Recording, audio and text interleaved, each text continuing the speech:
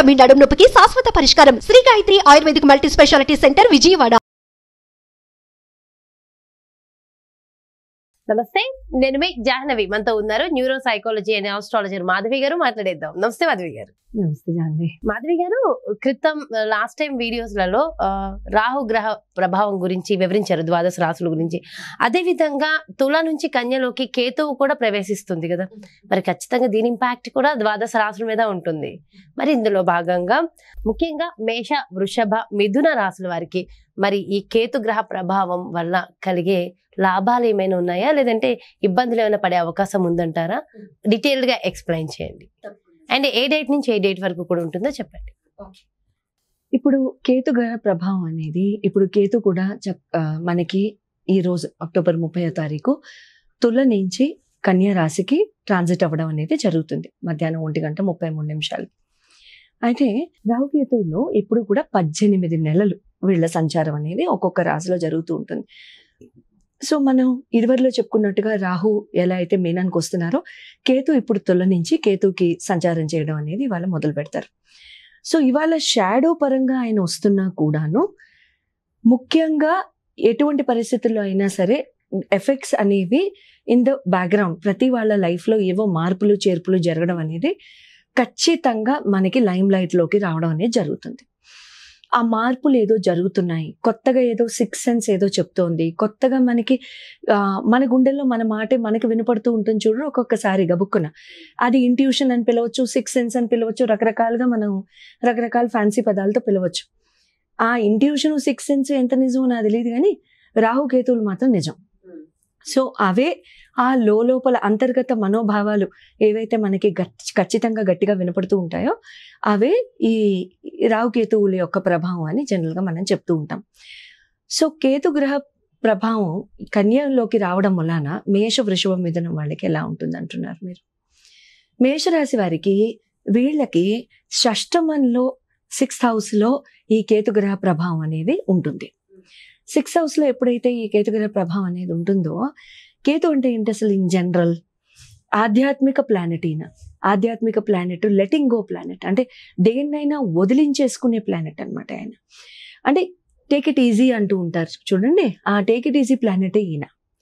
ఏదైనా సరే అంటే పట్టు విడుపు అనేది కూడా ఈయనకే వర్తిస్తుంది. ఎప్పుడు కూడా దేన్ని కూడా బంకలాగా పట్టుకుని కూర్చోరు ఈయన. దేన్నైనా సరే టక్కున అక్కడికక్కడే తేల్చేసేసి అక్కడికక్కడే ఏదైనా సరే వదిలిచ్చేసుకుని వెళ్ళిపోతూ ఉంటారు. ఇక్కడ షష్టమంలో ఎప్పుడైతే వస్తుందో జీవిత రహస్యాలు కానివ్వండి లేకపోతే ఇదివరలో కప్పిపుచ్చిన రహస్యాలు కానివ్వండి లేదా మనోభావాలు కానివ్వండి బయటకు వస్తాయి మేషరాశి వారికి. అది ఒక్కటి మీరు బాగా గమనించుకుంటూ ఉండాలి. మీ మీ దశల్లో మీ మీ అంతర్దశల్లో కానివ్వండి మహాదశలు ఏం జరుగుతున్నప్పటికీ అంతర్దశలు ప్రత్యంతర దశలు ఇంకా ప్రత్యంతర దశల ప్రభావాలు అయితే ఇంకా ఎక్కువగా ఉంటాయి కాబట్టి ప్రత్యంతర దశలో ఎప్పుడైతే మీకు కేతు వస్తారో అక్కడక్కడక్కడల్లా మీకు ఈ ప్రభావాలు అనేవి మొదలైపోతూ ఉంటాయి. హిడెన్ సీక్రెట్స్ అంటాం వీటిని హిడెన్ సీక్రెట్స్ కానివ్వండి. ఏదైనా సరే అంటే అంతుబట్టని జీవిత రహస్యాలు అంతుబట్టని బిజినెస్ రహస్యాలు అంతుబట్టని రోగాలు లేకపోతే ఇలాంటివన్నీ కూడా వస్తూ ఉంటాయి. ఎక్కడైతే విడిపించుకోవాలో వాటిని వదిలేసి చక్కగా క్షమించుకుంటూ లేకపోతే వదిలేసి చక్కగా దాని గురించి ఎక్కువగా మదన పడకుండా అంటే సే ఫర్ ఎగ్జాంపుల్ బిజినెస్లో ఒక మోడ్ మీకు ఒక మెథడాలజీ మీకు వర్కౌట్ అవ్వలేదు. ఇప్పుడు అది వర్కౌట్ అవ్వలేదు అని చెప్పేసి దాన్నే కథలు కథలుగా రాబోయే పది సంవత్సరాలు జీవితంలో చి- కథలు కథలుగా చెప్పుకోకుండా ఇది వర్కౌట్ అవ్వలేదంటే నెక్స్ట్ ఇంకేం చేస్తే బాగుంటుంది అనేది మీరు ఆలోచించాలి. కేతు గ్రహానికి ఏ రాశివారైనా సరే Jahnavi planning is a keyword plan ఉంటే కేతు గ్రహం ఏది చేయదు. ప్లాన్ లేదా జీవితం టాప్సిటర్వీ అయిపోతుంది. సింపుల్ అండి. ఓకే సో జడ్జిమెంటల్గా లేకుండా మేషరాశి వారు ఉండడం నేర్చుకోండి.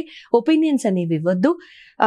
ఏవైనా సరే అంతర్గత రహస్యాలు కానివ్వండి బిజినెస్లో కానీ ఎంప్లాయ్మెంట్లో కానీ జీవితంలో కానీ ఎటువంటివైనా తెలిసినా కూడా వాటిల్ని ఓహో ఇది అప్పుడు ఇందుకు జరిగిందా? సరే దీని నుంచి మనం మూవ్ ఆన్ అయిపోదాం అని చెప్పేసి ఇంకా ఎటువంటి గొడవలు బాధలు లేకుండా చక్కగా జీవితాన్ని గడిపేయడం నేర్చుకోండి. వృషభ రాశి వారైతే మీకు పంచమ స్థానంలో కేతుగ్రహ సంచారం జరుగుతుంది. ఆధ్యాత్మికంగా కానివ్వండి లేకపోతే ఒక క్వశ్చన్ మార్క్ అనేది ఇప్పటిదాకా నేను చేసింది ఏంటి అని ఆ క్వశ్చన్ మార్క్ మాత్రం మీకు మెంటల్గా మిమ్మల్ని ట్రిగర్ చేయడం మొదలు పెడుతుంది. అది బాధ అనుకోండి లేకపోతే ఏమీ అర్థం అర్థం కావట్లేదు అనుకోండి లేకపోతే జంతర్ మంతర్ అనుకోండి ఏదైనా అనుకోండి. బట్ క్వశ్చన్ మార్క్ మాత్రం కీ అన్నమాట మీకు.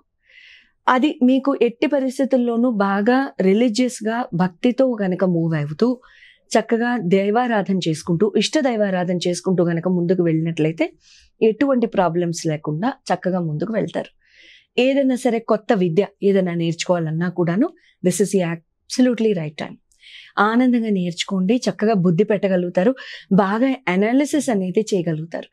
మీరు చదివేది ఏదైనా సరే అంటే బాగా మనన చేసుకోగలుగుతారు. అంటే చాలా చక్కగా మీకు రీటైన్ అవుతుంది సబ్జెక్ట్ మిథున రాశి వారైతే మీకు చతుర్థంలో జరుగుతుంది కాబట్టి ఇటు పర్టికులర్ ట్రాన్సిట్ మీకేమవుతుందంటే మదర్కి సంబంధించి కానివ్వండి హ్యాపీనెస్కి సంబంధించి కానివ్వండి లేకపోతే ఈ ల్యాండ్స్ విషయాల్లో కానివ్వండి ఎందులో అయినా సరే మీకు రకరకాల మిక్స్ పాట్ కిచడీ లాగా ఉంటుందన్నమాట ఈ one and half year eighteen months. ఏమైనా ఆస్తులు అమ్ముదాం అనుకున్నా ల్యాండ్స్ అమ్ముదాం అనుకున్నా దగ్గర దాకా వెళ్ళి అవి ఆగిపోతూ ఉంటాయి. లేదా అవి వచ్చే ప్రైజెస్ రావు. ఎట్టి పరిస్థితుల్లో ఆటంకాలు అనేవి గ్యారంటీ. తల్లులు అత్తగారులు తల్లి సమాను సమానరాళ్ళు ఎవరైనా ఉంటే అమ్మమ్మ నాయనమ్మ మేనత్తలు పిన్నులు పెద్దమ్మలు వీళ్ళందరితో మాట తీరు చాలా జాగ్రత్త. లేకపోతే గొడవలు అవ్వడం మాత్రం ఖచ్చితంగా మీరే హాట్స్పాట్లో ఉంటారు. మీరే సెంటర్ ఆఫ్ అట్రాక్షన్ అవుతారు. అండ్ అందరు ఆడవాళ్ళు ఒక పక్కకి వెళ్ళిపోతారు. కన్న తల్లితో సహా. సో ఎట్టి పరిస్థితుల్లోనూ ఎటువంటి గొడవలకి దిగకండి. మిమ్మల్ని ట్రిగర్ చేస్తారు ప్లానెట్ కానీ ఎంత తక్కువ మాట్లాడితే అంత మంచిది ఈ రాబోయే పద్దెనిమిది నెలలు. మీకు ఒక టిప్ ఇస్తాను ముఖ్యంగా. మీరు ఇష్ట దైవతారాధన చక్కగా చేసుకోండి. విష్ణు భగవానుడి ఆరాధన మాత్రం చాలా చక్కగా చేసుకుంటూ ఉంటే గనక ఎంతో మంచిది. విష్ణు సహస్రనామం చదువుకోవడం కానివ్వండి లేకపోతే వైష్ణవాలయాలు దర్శించడం కానివ్వండి మీకు చాలా మంచి చేస్తుంది. ఓకే. సో మొత్తానికైతే కాస్త ఇబ్బందికర వాతావరణమే కనిపిస్తుంది ఈ రాసుల్లో. బట్ టిప్ కూడా చెప్పేశారు. ఈ టిప్ అంటే మూడు రాసులకి యూజ్ అవుతుందంటారా? కేవలం ఆ, మిథున రాశి వారికి మాత్రమే విష్ణు సహస్రనామం కానివ్వండి వైష్ణవాలయాలు కానివ్వండి చూడండి కేతు అంటేనే భక్తి.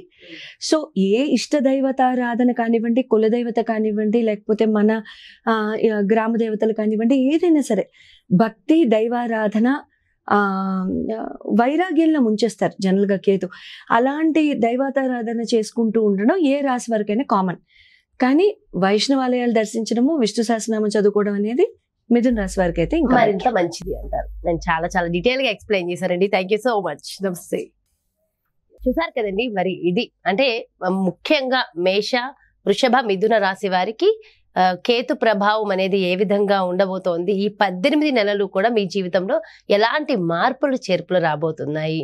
అని చెప్తూనే కాస్త ఇబ్బందికర వాతావరణం ఉన్నప్పటికీ చిన్న చిన్న రెమెడీస్ కూడా అందించేశారు కాబట్టి సో ఖచ్చితంగా ఇండివిజువల్ జాతకాన్ని ఒక్కసారి పరిశీలన చేసుకుని మీ యొక్క జాతకానికి తగినట్టుగా మీరు ఎలాంటి పరిహారాలు చేసుకుని మీ జీవితాన్ని సరైన దారిలో పెట్టుకోవచ్చు అనేది కూడా డీటెయిల్గా తెలుసుకోవాలి. మరి మాధవి గారిని మీరు కాంటాక్ట్ అవ్వాలి అనుకుంటే క్రింద డిస్ప్లే అవుతున్నటువంటి నెంబర్స్కి కాల్ చేయండి. నమస్తే.